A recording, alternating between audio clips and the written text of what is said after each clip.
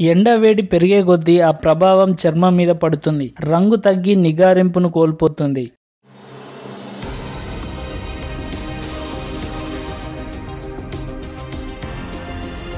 ఈ సమస్యను పరిష్కారంగా ఇంట్లోనే గంధం పూత వేసుకోవచ్చు. రెండు చెంచాల గంధం పొడిలో కాసిన్ని పాలు చేర్చి ముఖానికి పూతలా వేయాలి. అది పూర్తిగా ఆరాక చల్లటి నీళ్ళతో కడిగేసుకుంటే చర్మం తాజాగా మారడమే కాదు చక్కటి కాంతిని సంతరించుకుంటుంది. కలబంద గుజ్జులో కొద్దిగా గంధం పొడి కలిపి ఫ్రిడ్జ్లో ఉంచాలి. ఎండలోకి వెళ్ళి వచ్చిన తరువాత దీని ముఖానికి రాసుకొని పావు గంట అయ్యాక కడిగేసుకోవాలి. ఎండ వల్ల చర్మంపై ఏర్పడిన నలుపుదనం తొలగిపోయి కాంతిమంతంగా తయారవుతుంది.